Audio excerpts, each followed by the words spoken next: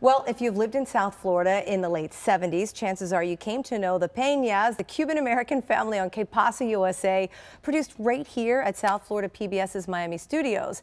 And now, more than 40 years later, South Florida PBS is teaming up with the Miami Marlins for a very special event celebrating South Florida's most iconic series. So let's take a quick trip down memory lane.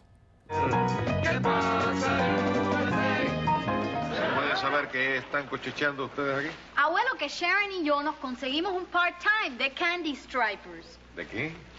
Candy Stripers. ¿Y eso qué es? ¿Qué quiere decir striper? Striper. ¿Tú no querrás decir stripper? Bueno, stripper, striper, sí, stripper, eso mismo. Bueno, son esas mujeres que se van desnudando, tú sabes, esa que dice ta ta ta ta ta ta ta ra, ta ta ta. Ay, Juana, por Dios. ¿Tu hija se ha metido stripper? Camecita. Ay, papá, no digas bobería. Well, how do you like our new Candy Striper uniforms? Don't we look ravishing? Sin vergüenza, las dos. Yo creo que está un poco confundido, but don't worry, I will straighten him out. That show is hilarious. All right, here now to give us the details on this fun event is Claudia Lezcano, Vice President of Marketing for the Marlins.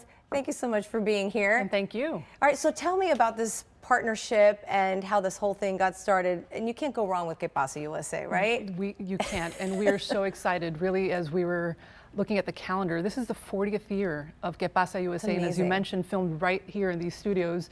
And we saw it was an amazing opportunity to bring it back and bring the cast together. So we're excited on May 13th at the ballpark to have, I think, what is the largest collection of the former cast joining us. So we're going to have Joe, we're going to have Sharon, Wow. we're going to have Carmencita and Violeta, and hopefully a few more. Oh, that's very exciting. Right, so how does it work? So you you want to go, you buy a ticket, and what do you see when you get to the stadium? Well, you do get one of these cool little. You have to show this off. Look how cute Definitely, this is. definitely. Okay, Pasa USA. Wait, it's got the Marlins there, And the Que Pasa USA. USA here. Definitely.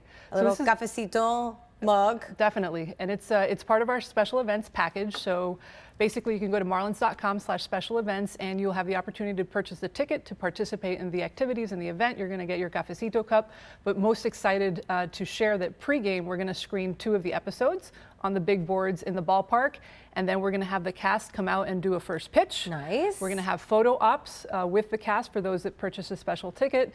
And throughout the game, we're going to share some of the favorite clips. As you shared some, there'll be more to share on May 13th as well. That is so fun. Definitely. Okay, and then if you're not lucky enough to get a Que Pasa USA cafecito mug, you're giving out what else? We know these are going to go really quickly. So the first 1,500 get the Cafecito Cup, and those thereafter will actually get a Que Pasa USA t-shirt. So Excellent. It's going to be a lot of fun and encourage everyone to come out. Um, very important, $5 from every ticket is actually going to come back to PBS. So that's something that, again, we're excited to have that partnership with you all.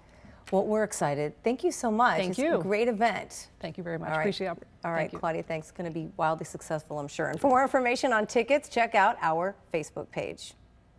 Pasa USA.